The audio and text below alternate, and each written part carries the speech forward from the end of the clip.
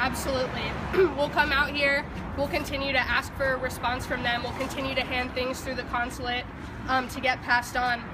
I think this is an extremely serious issue, and we all stand behind it, and we're not going to stop until we get what we want. อือฮึ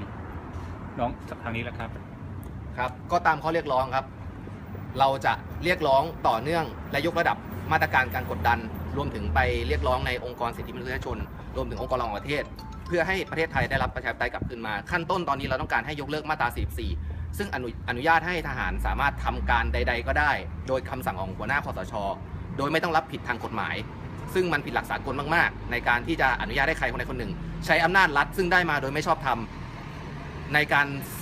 กระทำใด ๆ ก็ตามต่อประชาชนในรัฐ บทบาทหน้าที่ของรัฐคือหน้าที่ในการปกป้องประชาชนในรัฐไม่ใช่คุกคามประชาชนในรัฐ สิทธิชุมชน สิทธิในการปกป้องสิ่งแวดล้อม สิทธิในการปกป้องตัวเองและการพูดอย่างเสรี ต้องได้รับการกลับคืนมา ต้องได้รับการปกป้องจากประชาชนและจากรัฐ ไม่ใช่คุกคามเมื่อเขาพูดอะไร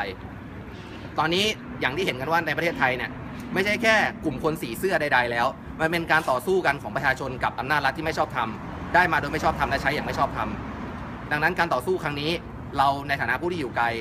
ทำอะไรได้สนับสนุนได้ช่วยเรียกร้องได้เผยแพร่ข่าวสารได้เราจะทำอย่างเต็มที่ แล้วก็ขั้นต้นยกเลิกมาตรา 44 ไม่ดำเนินการกับผู้เคลื่อนไหวทางการเมืองโดยมาตรา116 นั่นคือข้อเรียกร้องเบื้องต้นที่เราต้องการให้รัฐบาลไทย ตอบรับและทำทันที ซึ่งหากไม่ทำการเคลื่อนไหวนี้ จะดำเนินต่อไปทั่วทั้งอเมริกา และเรากำลังประชุมเพื่อดำเนินการต่อไปทั่วทั้งโลกให้ได้ เราจะเป็นผู้สนับสนุนและผู้อยู่ข้างหลังประชาชนเพื่อประชาชนครับ